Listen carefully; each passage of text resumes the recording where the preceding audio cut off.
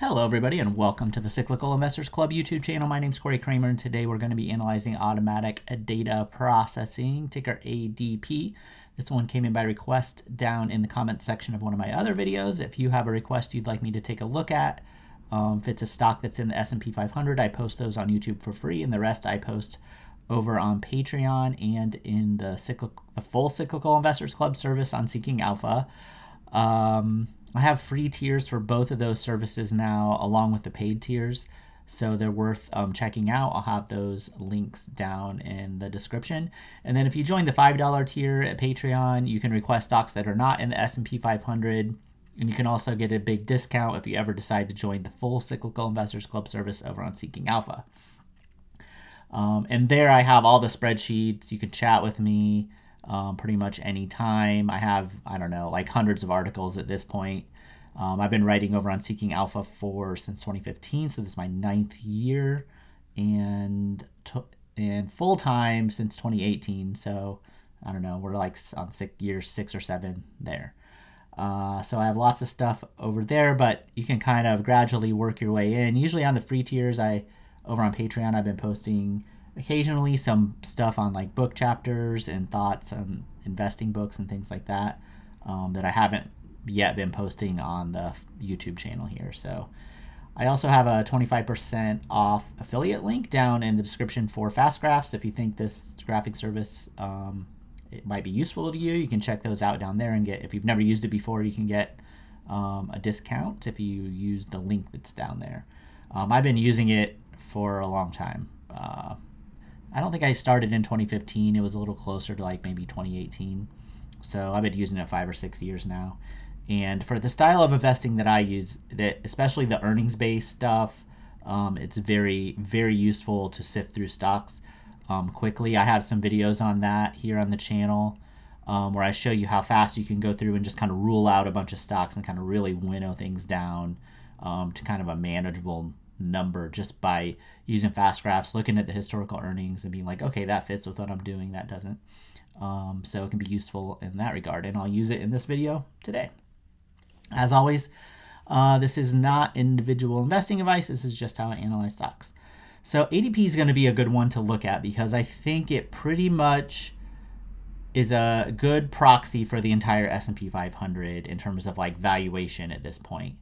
Um, they are employment kind of related. So, um, you know, if unemployment rate goes up or businesses, medium, small businesses, um, if they, you know, fail or go out of business um, or shrink, you know, then that probably, you know, would affect ADP's business as well. So they kind of reflect the real economy.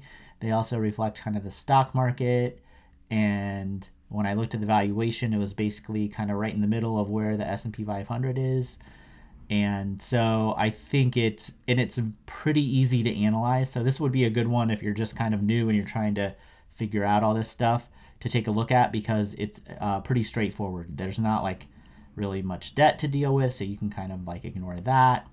Um, and if you look at the earnings, which is this dark green area here on the fast graph, they're very steady, and so they don't fluctuate a lot, and they're very pretty straightforward. They had a small decline back in 2004, it looks like, coming out of that recession. A very small decline in earnings per share coming out of the Great Recession in terms of earnings growth. Other than that, it basically grows. They've been growing earnings every year, not always very fast, but always consistent. So that makes it easy easier. You never know what's going to happen in the future, but it makes it easier to to kind of forecast that earnings trend out into the future. So if we go since 2016, we can see the earnings growth rate. I didn't I, I didn't double check to see how much stock they they actually buy back. They probably are buying back some stock too. Um, but we'll just set that aside for now. I'll I take it in, I took it into consideration on my earnings growth rate. But you can look at like 13%, 13%, 20 20 this was a tax cut year, so that might have influenced that, but he still had good growth, and it was probably split between the two years because their fiscal year is halfway through the year. Um, so that might be a little larger than you would normally expect. And then COVID, a little smaller than we would normally expect. And then we kind of have some teens growth the past couple years, and they're expecting like 8 or 9% growth for the earnings growth the next couple years. So on the fast graph, we're looking at 13.67% earnings growth during this period. Let me see what I have real quick. 11.74. So that's probably because they bought some stock back, and I take that into consideration. I almost, I also might go from 2015. Nope, 2016. Okay, yeah. So I'm a little bit more conservative um, than the fast graph, but definitely like right in the ballpark in terms of my earnings growth expectation. It's worth noting that analysts are not expecting it to grow at 11 to 13 percent. Um, they're expecting eight or nine, but sometimes they kind of sandbag that a little bit so they can beat it. And so that really is, I think 11 is a very fair, 11, 12% earnings growth expectation is a fair estimate. Um, because I'm going to extrapolate that out 10 years into the future. So you're gonna, we've had some pretty positive year things happen with stimulus, with tax cuts, those things are probably not not necessarily going to happen over the next 10 years and there also wasn't really a real recession this time. So rather than going with 13 or 14 percent to me it makes more sense to be closer to like that 11 um, and a person would be perfectly justified going with like 8 or 9 i think. But we have more inflation and these guys can definitely pass that cost on. So the nominal return might be higher than what it has been in the past all other things being equal. Um, and that's one of the benefits of owning a quality business that can pass those costs on. But it also might mean that they actually can grow at a faster nominal rate than what people expect right now. Because if we have higher inflation than we had during this last period, um, they should be able to grow their earnings more. The only exception to that would be if it all came from like an energy price spike.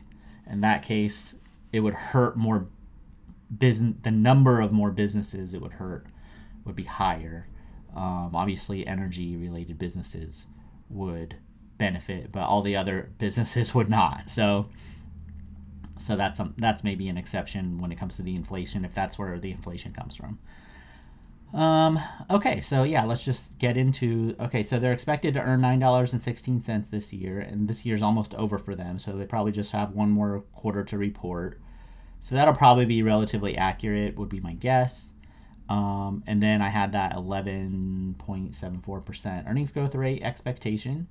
So the way I calculate that is um, that works out to about a 26.47 PE. Um, only a tiniest adjustment for debt. So a 3.7% um, earnings yield. So the earnings yield is the inverse of the PE ratio. PE ratio is price over earnings. Earnings yield is earnings over price, and then that will come out as a, well, in this case it's a decimal, but it's a percentage. Um, and so the way I like to think about that is you take that 3.7%, and so if you bought this whole business for $100, you would earn, and so when you saw that switch right there, that's the price. It would have dropped a little bit, and as the price drops, for every $100 that you buy of the business, you get a little bit more earnings. So you got an extra penny of earnings from whatever the price just dropped because this updates in real, close to real time. Um, so you get that $3.71 in earnings on your $100 and it would grow at the estimated 11.74% or so. Um, and so I pull the first year forward. So the first year, I assume you're going to get $4.14 on your $100. And what I want to know is how much could I collect over 10 years on my $100? So that's what the spreadsheet does. Um, and with those assumptions, you could collect about $171.77 on your initial $100 investment.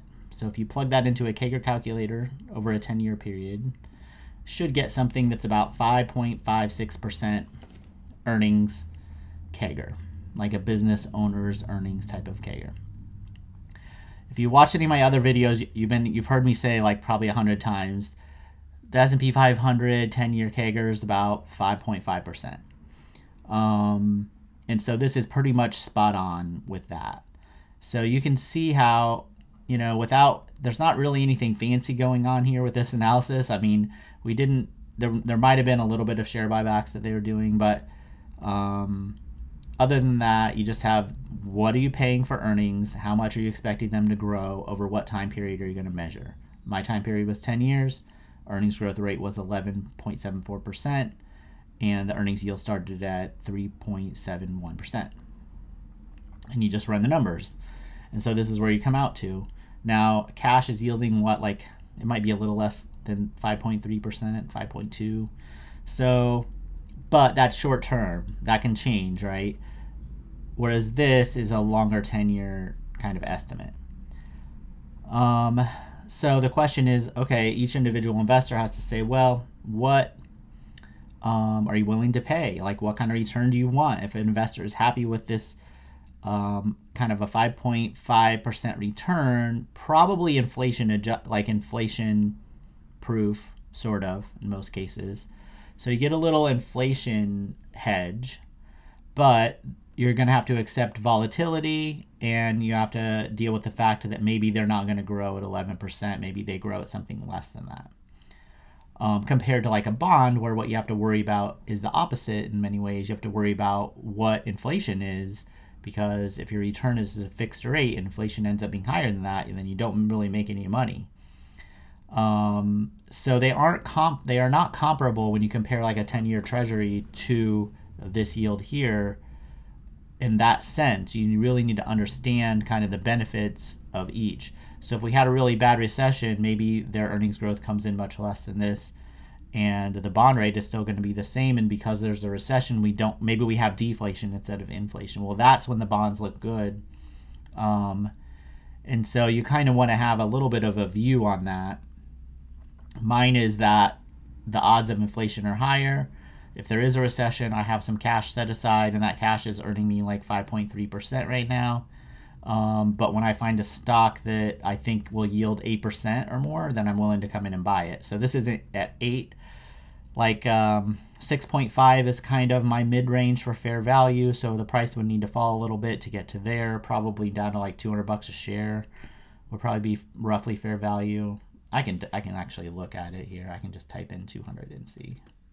Almost exactly right. So, um, so about $200 a share is probably fair value here. And then to buy it, you're going to be more down around 150 to 140.